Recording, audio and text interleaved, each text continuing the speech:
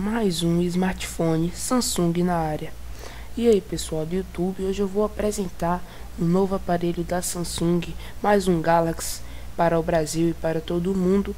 É o Samsung Galaxy Trend 2 Dual S7572. Mais um modelo de Galaxy para completar a lista? Não, só para fazer tabela mesmo. A Samsung está lançando aparelho pra caramba, é, a gente não sabe mesmo a finalidade disso. Mas a resposta mais coerente é simplesmente dar mais opções para os consumidores. Isso é uma tática muito interessante e inteligente. Mas vamos comentar, trazer aí especificações, review de características e comentários sobre este novo aparelho.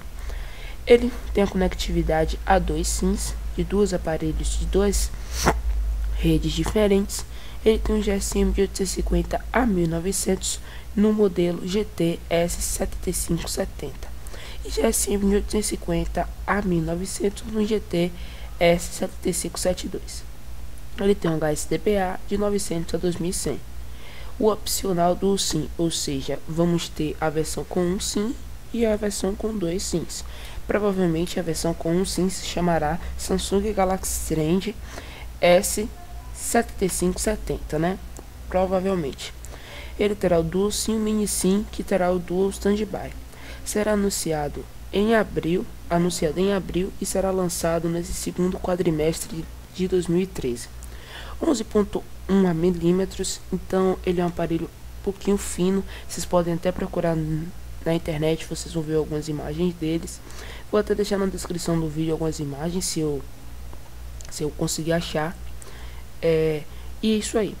Ele tem 11.1 milímetros, como já comentei, então isso é muito bom para o aparelho. Como vocês podem ver nesta imagem que eu estou mostrando aí para vocês, aqui nós vimos a conectividade do standby, aqui nós vimos um jogo, né? E aí nós podemos ver que o aparelho tem um bom processador e que o aparelho é bom também para é, coisas de trabalho, leitura. Então vamos ver por quê. Ele tem uma resolução de 480 por 800 pixels, uma tela com 4 polegadas e densidade de pixels de 233 pixels por polegada. Multitouch até 10 toques. Em alertas ele tem vibração MPT WAV Ractons. Launch Peak ele tem aquela entrada 3.5 padrão para fone de ouvido que todos os aparelhos têm, tanto da Apple como Motorola, qualquer qualquer linha de aparelhos. Ele tem slot para cartão microSD de até 32 GB, GPRS DGE. A velocidade de download dele é um HSDPA 7.2 Mbps e um HSUPA 5.76 Mbps. Ele tem somente Wi-Fi Hotspot e Wi-Fi BGN, não tem o ABGN. O Bluetooth de, dele é o 3.0 e ele tem USB 2.0 que também é padrão. Ele tem a câmera primária dele, que tem 3.15 megapixels, e aí as pessoas falam que a câmera do, de aparelhos com 3 megapixels é ruim. Não, galera, a qualidade das câmeras não se dá pela quantidade de pixels, mas se dá pela qualidade que a empresa que faz a câmera, o aparelho, investe.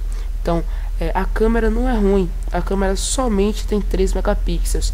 Isso é um tamanho de foto um pouco reduzido dos aparelhos top de linha podemos ver HTC One e teve até uma coisa aqui dizendo que o HTC One 4 megapixels de câmera, só que ele tinha 4 megapixels, sendo que não eram megapixels, eram ultra megapixels que equivaliam a 13 megapixels.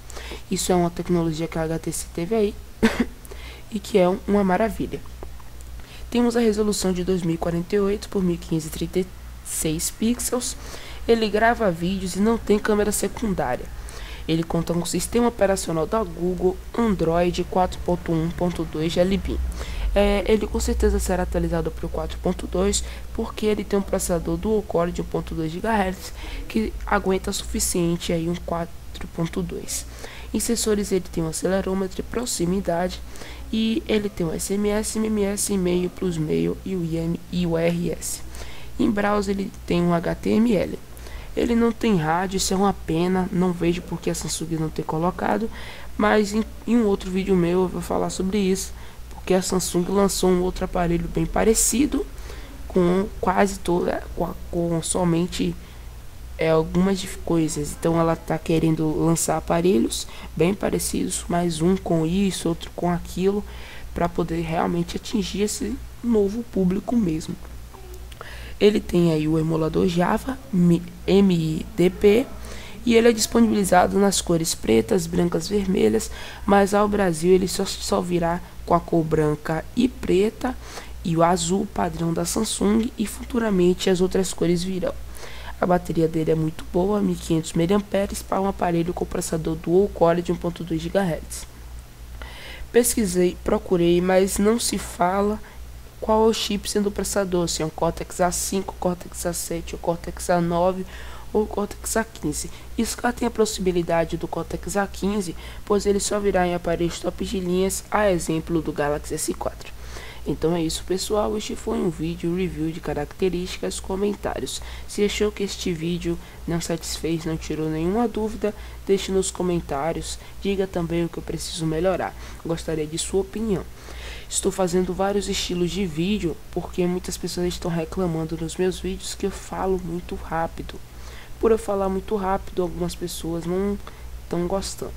Eu tenho um outro canal meu que ele tá aí com 122 mil visualizações e tá lá pra é, 320, 318 por aí inscritos.